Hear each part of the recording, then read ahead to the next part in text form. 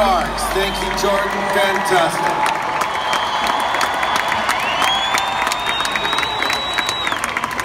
You'll hear from you'll hear some more music from Jordan and Brentley and Danny. Oh my goodness, how about Danny Gokey? Tell my heart to beat again. Wow.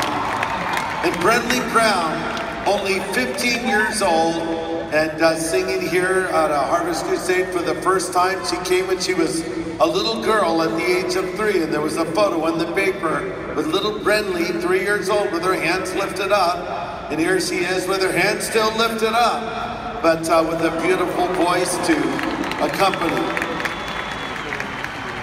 So this is the last night of the SoCal Harvest, and it's a very important night for you, I think it's a very important night for our country right now. I think we're at a critical time in American history, and that's why at the end of the message, we're going to pray for our nation. We're going to pray for healing. We're going to pray for an awakening, because that's what America needs tonight, more than ever, more than ever.